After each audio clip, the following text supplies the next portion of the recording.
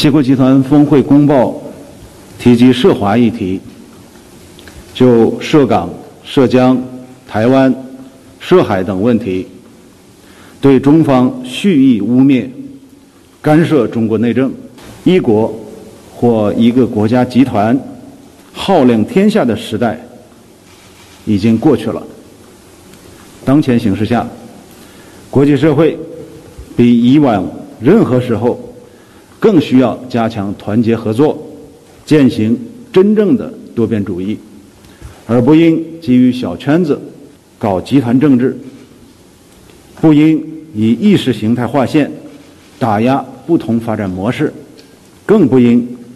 混淆是非、转嫁责任。美国病了。病得不轻，七国集团还是给美国把把脉、开药方吧。